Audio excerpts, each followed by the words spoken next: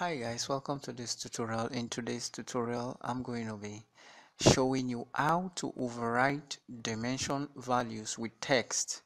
So let's quickly go into the tutorial. I'm going to create a tutorial. I'm not going to care about which style of dimension is set or whatever. I'm just going to create a dimension here. Is an architectural building that we've done. This is a cross section of the building. So we can just say, okay, let's just dimension this one since it's a cross section so you can just come to this point create a dimension to this point and pull outwards so this is our dimension. You can see the value 6947 as a value. So we can just to change override this dimension i will just highlight on it.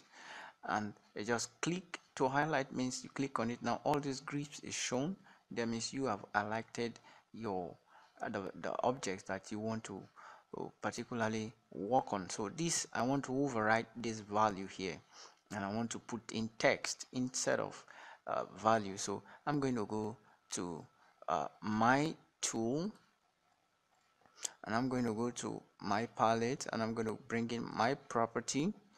This is my property palette. So another way to do that you can just since you have right have highlighted it you can just right click and go pull roll over to property and just click on it. So it comes up. So you can just go check on those particular these are all the properties of this dimension. So the the line is panel the layer is panel.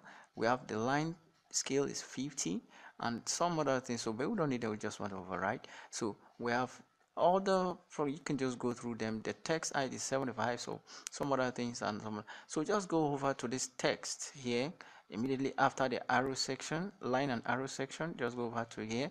So just on this particular box this text override so just type on it. I want to put the total height. I want to tell everybody that this is a total height. So i'm going to tell everybody that the total height so i'm going to say I'm using an uppercase on my keyboard so I'm going to write total total height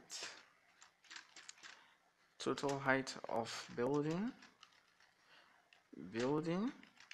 So I'm done typing. So to activate it on this particular dimension I'm going to hit enter on my keyboard. Now you can see on my on my screen that it has changed to uh, total height of building. So this is now you have override that particular text that was there. Now whoever that is looking at this i'm going to hit escape on my keyboard to clear up the grips. So whoever that is looking at this building just know oh this is the total height of the particular building. That is it guys. For now to override a particular dimension text putting removing the value and also and in replacing it with text that's it guys. So please do subscribe to our channel and give us a thumbs up. If you like our video you can go ahead and override some other text that you want to do. See you in our next video